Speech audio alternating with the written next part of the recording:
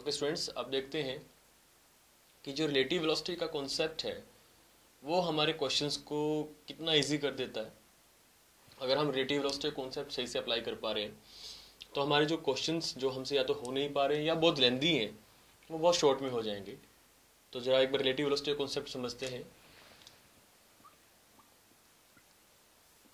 Relative velocity. So VAB VAB is called velocity of A with respect to B. यानी कि A की velocity B को कैसी लगेगी? This is called velocity of A with respect to B. अगर मैं कहता वी बी ए तो velocity of B with respect to A यानी बी को ए की वेलोसिटी कैसी लगेगी? जैसे मैं रेस्ट पे बैठा हूँ और एक स्कूटर वाला मेरे सामने से जाता है। तो मेरे अकॉर्डिंग मैं कहूँगा स्कूटर वाला इज़ इन मोशन लेकिन स्कूटर वाले के अकॉर्डिंग मैं मोशन में हूँ। ये हमारी डेली लैंग्वेज की बात नहीं हो रही है। ये फिजिक्स में अकॉर्डिंग सो फिजिक्स में nothing is perfect as nothing is in perfect motion ये मैं पहले भी आपको समझा चुका हूँ। तो रिलेटिव वेलोसिटी आप देखते हैं, हमारा कितने कॉन्सेप्ट आसान करती है। तो एक, छोटा सा मैं क्वेश्चन लेता हूँ। ये क्वेश्चन पहले एग्ज़ाम्स में कई बार आ चुका है एंट्रेंस एग्ज़ाम्स में। और आपके, कभी आपके पास आया भी हो। तो ये क्वेश्चन कई बार प्रॉब्लमेटिक हो जाता है। तो मैं आज इसको सिंपल सिंपल वे में करा रहा हूँ आपको। तो एक इक्विलेटरल ट्राइंगल है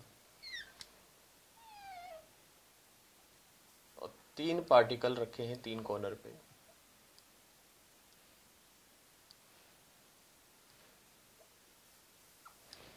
Particle A B C equilateral triangle है तो each side is A okay now ये पार्टिकल इसकी तरफ़ चल रहा है ये पार्टिकल इसकी पार्टिकल की तरफ़ चल रहा है ये पार्टिकल इस पार्टिकल की तरफ़ चल रहा है। विद कांस्टेंट वेलोसिटी बी तो इन दोनों तीनों की स्पीड जो है ये कांस्टेंट है। तो ये अब कहाँ मिलेंगे और कितने टाइम के बाद मिलेंगे, ये निकालना है। क्वेश्चन समझ में आया है? ये इसकी तरफ़, ये पार्टिकल इस पार्टिकल तरफ़, ये पार्टिकल इस पार्टिकल तरफ़। विद स्पीड कांस्टेंट v अब सिंपली माइंड में स्टिक करता है कि भाई ये तो मिलेंगे ही नहीं। है ना?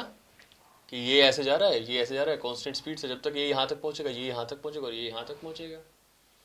लेकिन थोड़ा सा क्वेश्चन हमें ध्यान से करना है कि ये पार्टिकल इस पार्टिकल की तरफ़ जा रहा है, ना कि ये पार्टिकल इस कॉर्नर की तरफ़ जा रहा है। डिफरेंस समझ रहे ना? तो जैसे जैसे पार्टिकल अपना पाथ चेंज करेगा, ये पार्टिकल भी अपना पाथ चेंज करेगा। तो होगा ये कि ये सेंटर पे आके मिलेंगे। कैसे? ये पार्टिकल आगे जा रहा है, ये वाला इसको फॉलो करेगा। तो कुछ ऐसे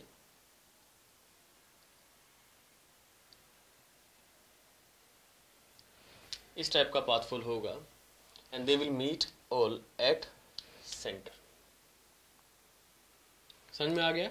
अब ये तो समझ में आ गया कि they will meet at centre the question is कि after how much time they will meet at centre okay तो अब इस क्वेश्चन को करने के लिए भी हमारे पास दो तीन मेथड है। लेट्स सी कि हम इसको कैसे करते हैं। अब जो पहला मेथड देखिए जैसे हमारे पास मैं थोड़ा ट्रायंगल बड़ा बनाता हूँ।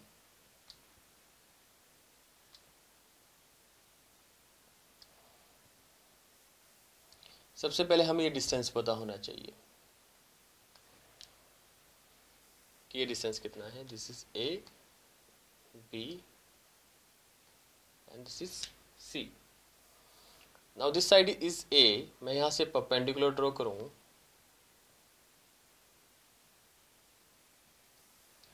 तो ये हाफ़ हो जाएगा ए बाय टू और ये है पूरा ए तो मैं इसमें पाइथागोरस थ्योरम लगाऊँ।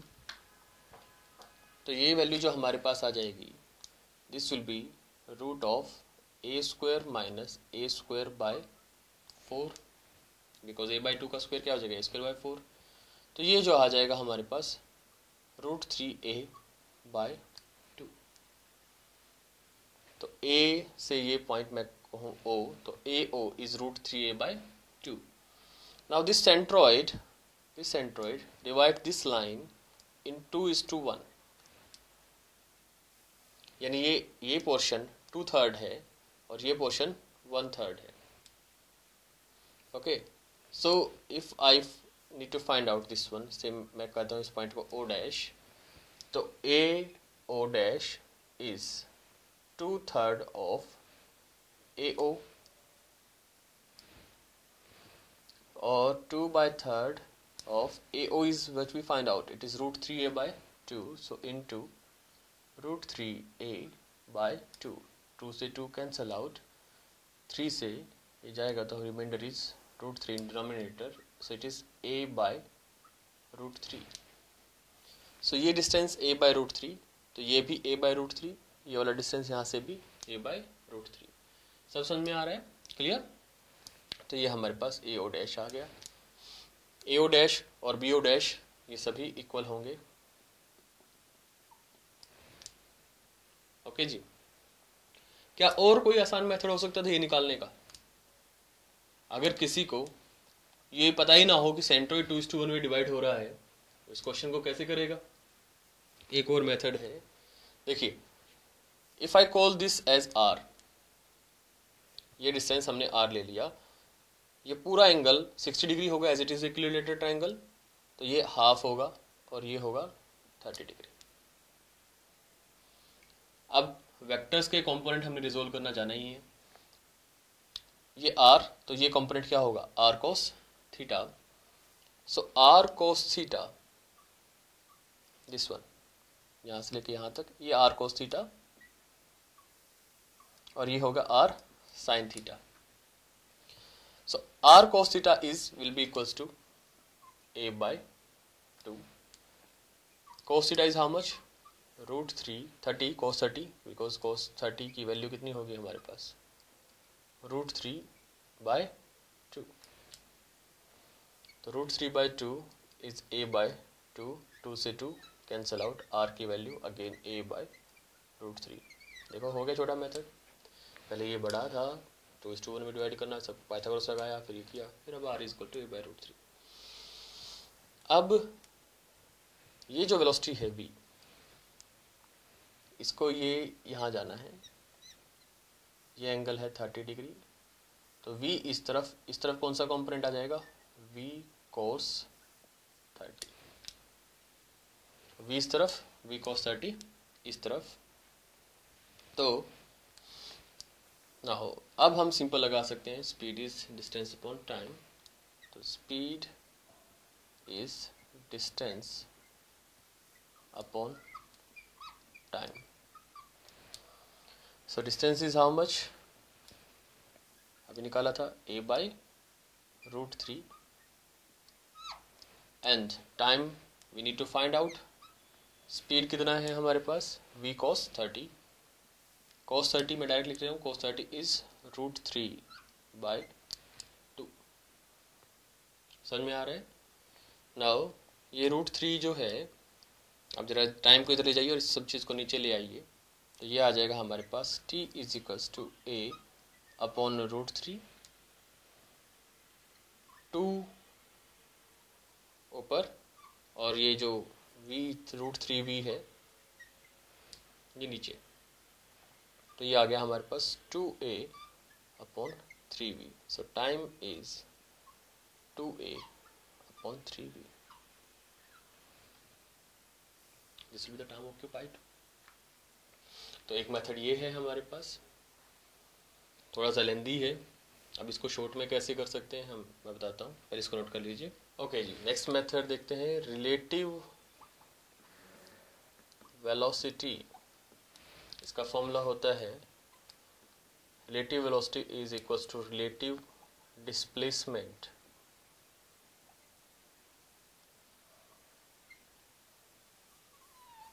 upon time so relative velocity is equal to relative displacement upon time अब इसका क्या मीनिंग है? जरा देखते हैं जरा। मैं फिर से एक बार जरा डायग्राम बड़ा बनाता हूँ।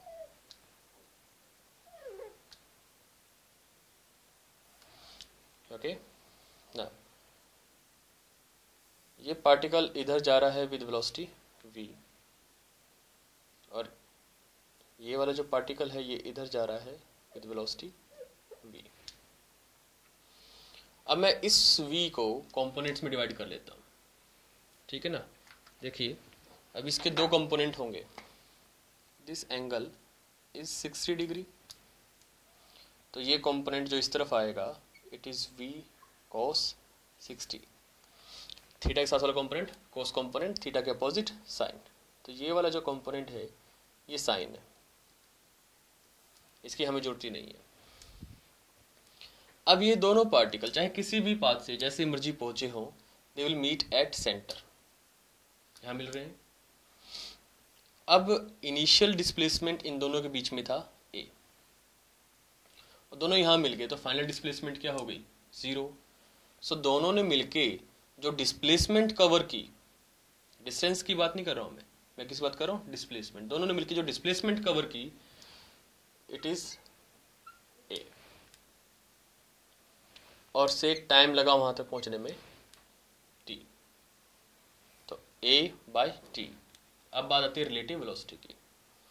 ये दोनों अपोजिट में आ रहे हैं तो रिलेटिव वेलोसिटी क्या कर देंगे हम? ऐड तो रिलेटिव वेलोसिटी v इस तरफ़ और ये v cos सिक्सटी तो v plus v cos sixty cos sixty is how much half तो v by two it is three v by two पहले पुट कर दीजिए। So three v by two is equals to a by t so time is two a by three b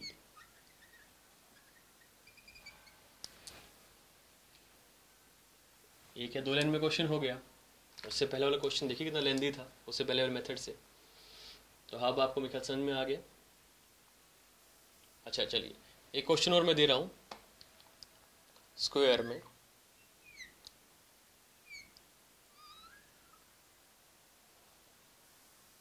फिर से चार particle हैं। ये इसकी तरफ़, ये इसकी तरफ़, ये इसकी तरफ़ और ये इसकी तरफ़। विद सेम वेलोसिटी वी सभी और ये जो एजेस है it side a so again they will meet at centre तो दो मेथड हैं।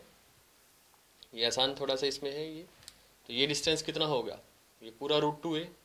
ये होगा a by root two fast करा रहा हूँ। बाकी आप समझ जाएँगे, समझदार है। दिस एंगल इज़ 45 डिग्री तो इस तरफ़ कॉम्पोनेंट क्या आ जाएगा? V cos 45 So time is distance a by root 2 upon forty five 45 cos 45 is 1 by root 2 root 2 से root 2 cancel out, time is a by v तो ये आसान हो गया, ये भी आसान है।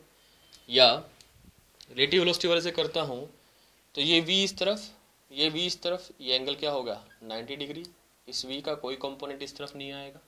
आएगा तो हम क्या कहेंगे? V cos ninety cos ninety is zero तो relative velocity is only v तो relative velocity is only v यह लिख रहा हूँ मैं। Relative velocity is v now relative displacement दोनों मिलके क्या करते हैं cover a time is t so t is simply a by v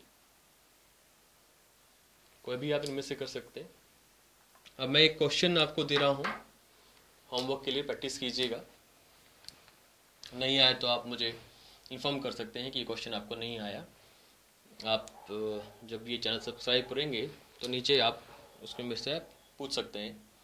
तो मैं आपको इन्फॉर्म कर दूँगा कैसे करना है इस क्वेश्चन को। मेरे पास अब एक रेगुलर हेक्सागन है।